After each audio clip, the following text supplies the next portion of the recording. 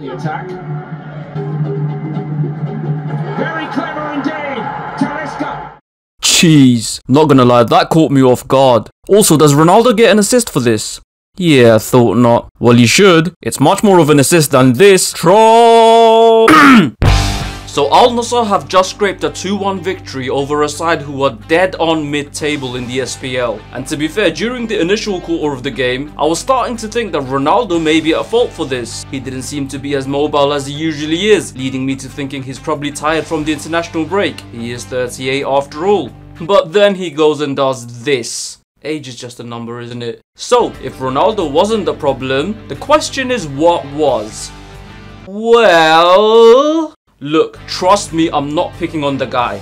But go back and watch it. This was very clearly a game of two halves, with the favourites fumbling, flopping and falling over while failing to find their feet in the first, and then absolutely bossing the proceedings in the second. The difference?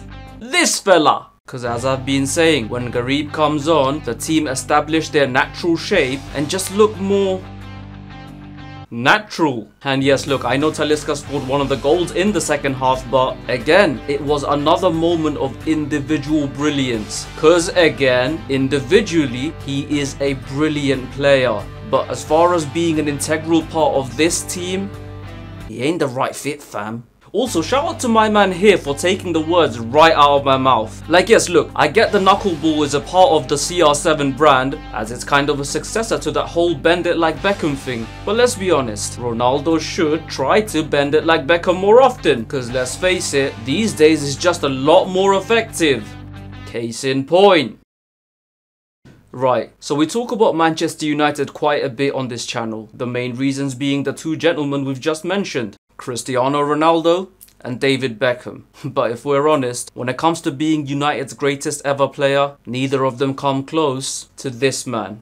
So yeah, as you all probably would have found out by now, Sir Bobby Charlton passed away earlier today, around 3 years after his older brother Jack did. And in case you didn't know, these guys actually won the World Cup together with England, with Sir Bobby actually holding the all-time goal scoring records for both England and United for years. From midfield. What a legend, man. But yeah, thoughts are with his family and loved ones during this time. Rest in peace, sir.